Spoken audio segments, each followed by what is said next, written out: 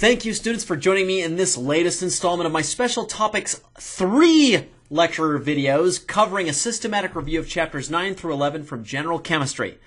In today's video, we're going to begin by covering molecular geometry or shape. Are you ready? Let's go ahead and get started. Now, generally speaking, molecules adopt shapes that keep all of their atoms as far away or as spaced out from each other as possible. For example, in the molecule carbon tetrachloride, whose Lewis structure without all the lone pairs on the chlorines is shown here.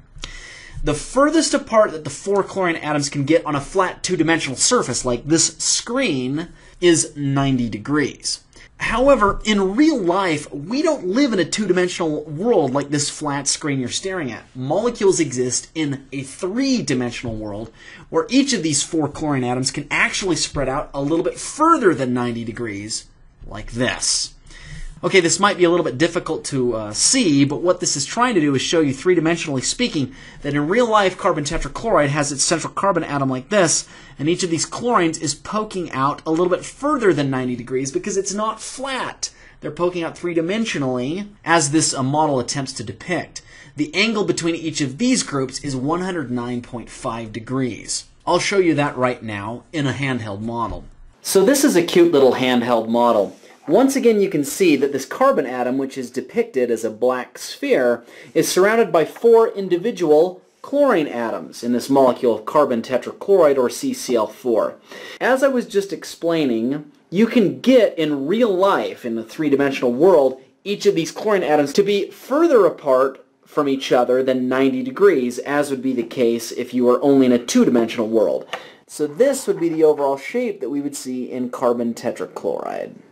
Now, this type of shape is called a tetrahedron. You can see that the chlorines, which are the green balls in this uh, picture, can spread out from their central carbon atom to have about a 109.5 degree angle between each chlorine atom. So this idea, the idea that atoms spread out as far apart from each other as possible, is called the VSEPR, or valence shell electron pair repulsion model. Sometimes I just like to call it VESPR because it rolls off the tongue a little bit easier than VSEPR. Now, parenthetically, just so you know this, our book sometimes calls lone pair electrons non-bonding pairs or just lone pairs. Electrons that are shared between two bonding atoms, in our book at least, are called bonding pairs. The number of things, either lone pairs or other appendages around a central atom, is called the atom's number of electron domains. With that in mind, let's take a look at these different geometries from chapter 9.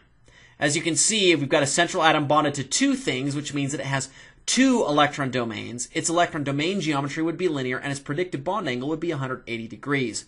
By extension, you can pause the video and take a look at each of the predicted bond values and number of electron domains in each of these geometries, and I hope that you will.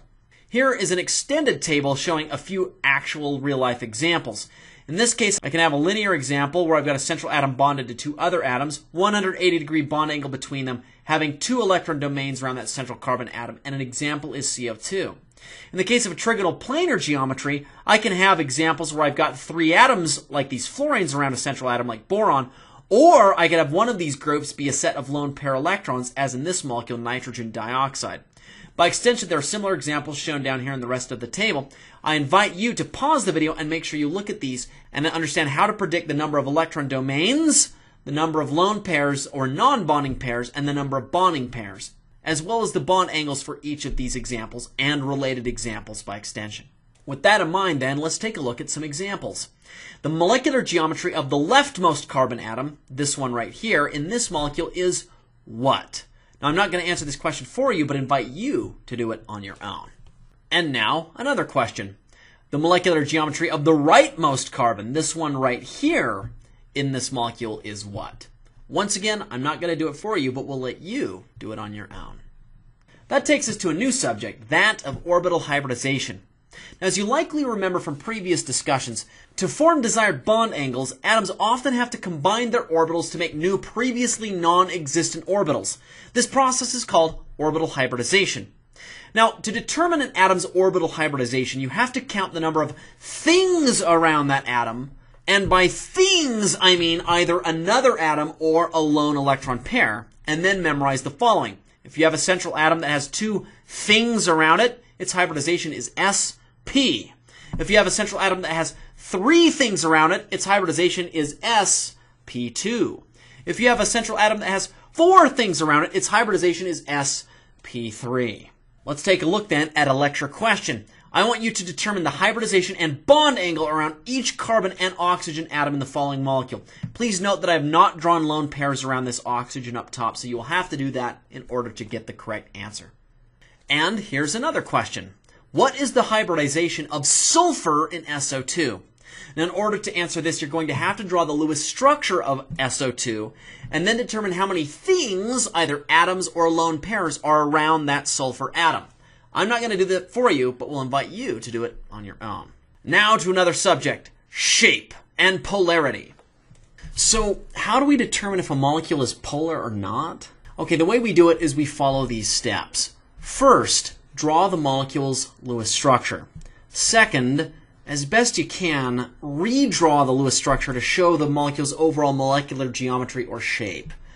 Third, draw arrows between every atom in the molecule going from the less electronegative atom, A, or whatever atom it happens to be, to the more electronegative atom, B, in each bond, like this.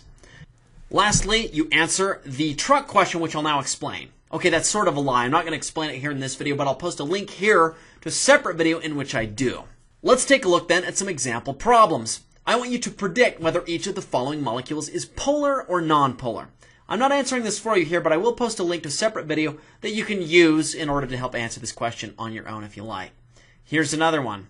Of the molecules below, only something is polar. Which one is it? I'll let you see if you can figure that out. And this question, of the molecules below, only something is nonpolar. Well, that seems like a good place to stop this video. Please stay tuned to the next one in which I'll begin reviewing the combined gas law. Until then, have an enjoyable rest of your day.